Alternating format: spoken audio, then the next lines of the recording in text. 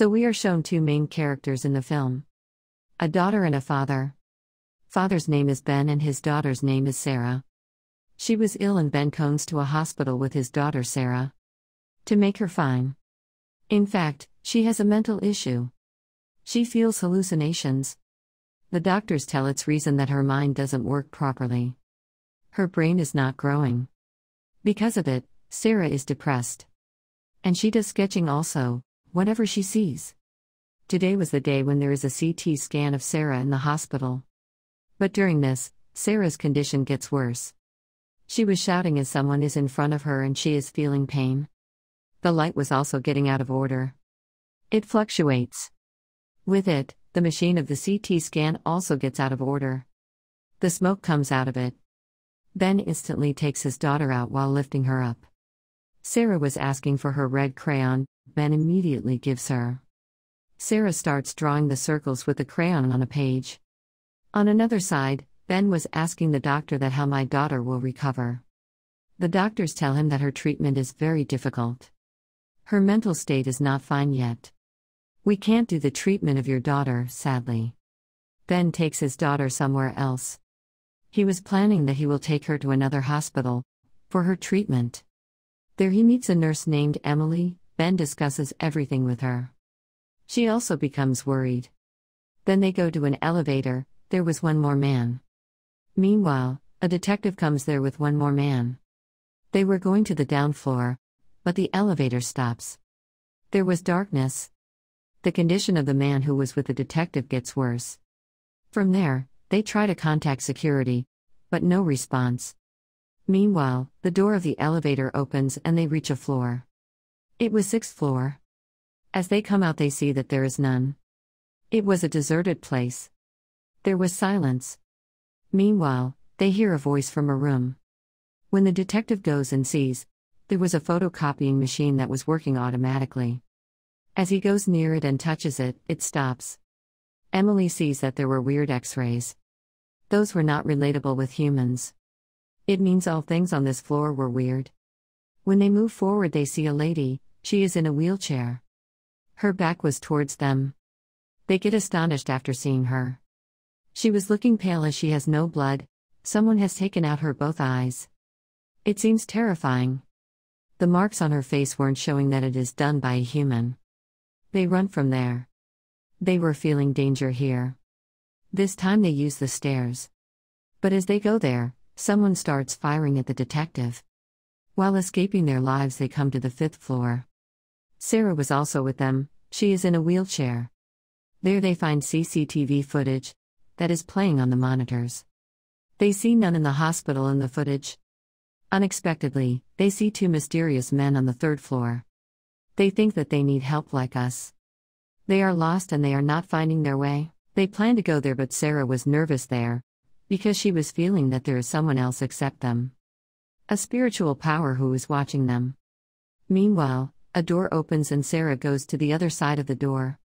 Here, no mobile phones were working, but as the door opens, their cell phones start working. The radio also turns on. With it, they see a reflection of an evil spirit, it was like a witch.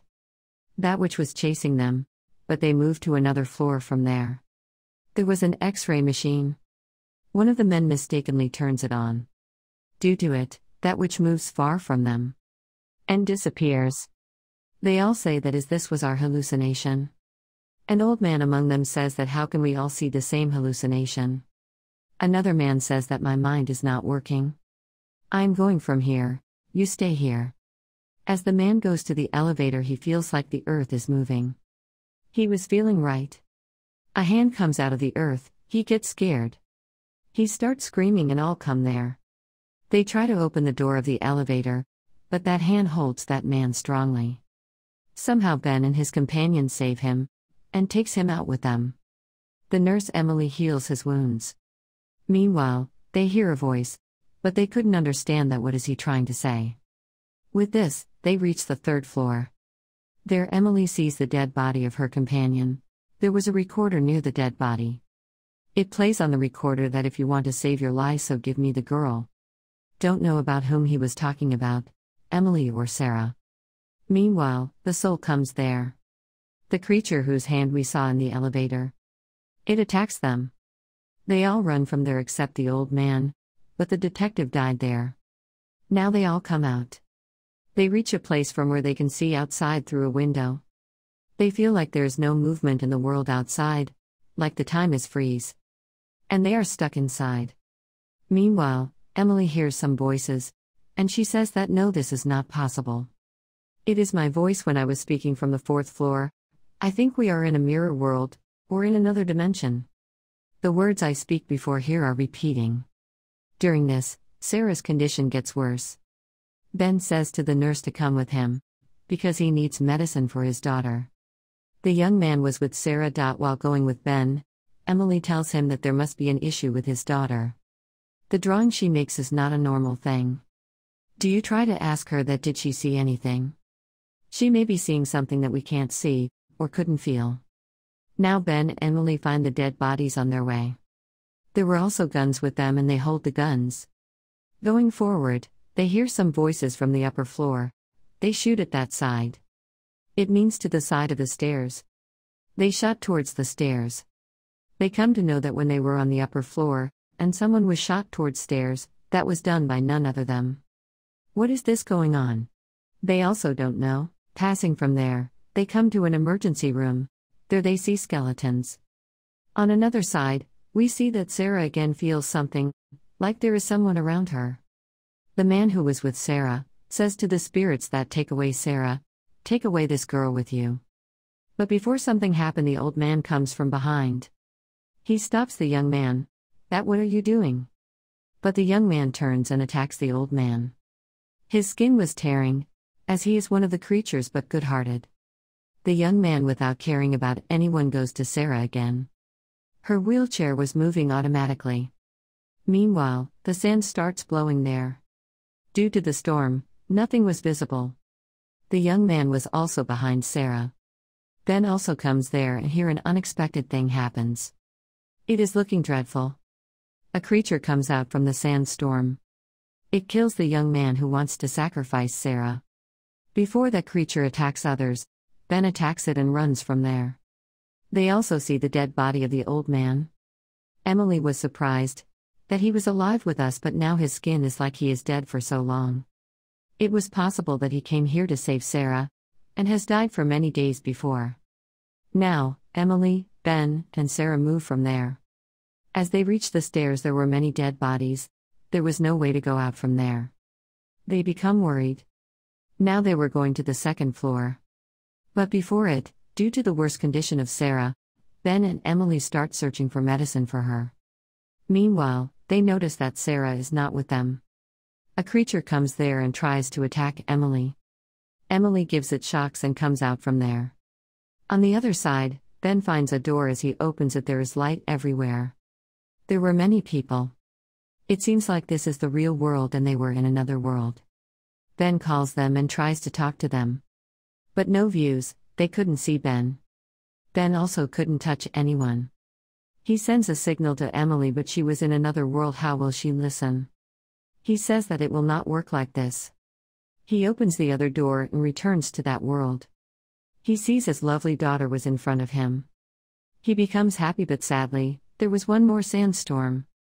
The evil creature comes out of it, it was about to kill them. One more blessing happens here, the old man again comes there. He saves them. How that old man was coming again and again as an angel. They also couldn't know it. Emily also comes there. Now they were together. They moved to the elevator. The horrible creature of the elevator was again coming to the elevator, but before this, they closed the door. They press the button to go to the first floor. But the elevator takes them to the basement. Meanwhile, Sarah hears some voices, and she puts a hand on her ears and starts shouting. An evil spirit comes there, it was about to attack Emily. Seeing Sarah, it runs from there. Then asks Emily to sit with Sarah in the wheelchair. Whatever it is, I will take you both outside safely. He moves forward. There was a mortuary in front of them. All the dead bodies were revived. Ben wasn't scared. Then Emily tells him that there is a door that opens outside. We shouldn't lose courage, Ben immediately lifts his daughter Sarah. He asks Emily to come, but the wheelchair of Emily was stuck. As Ben comes outside, that door closes. Emily was left inside with the dead bodies. The dead bodies were moving towards Emily. She was scared, but Ben couldn't go inside. He instantly makes his daughter sits in the ambulance and moves from there. Meanwhile, Sarah says to her father that he is coming. He is behind us. It happens the same, a shadow was chasing them. The place from where they passed there was darkness. A devil comes out of the darkness, an evil creature who was about to kill them.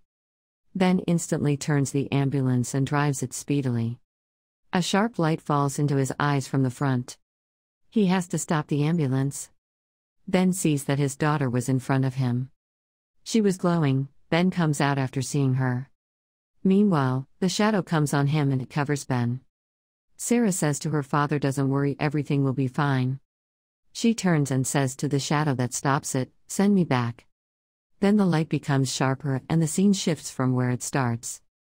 Sarah's Supreme Court scan was going on. Sarah's father lifts her and takes her outside.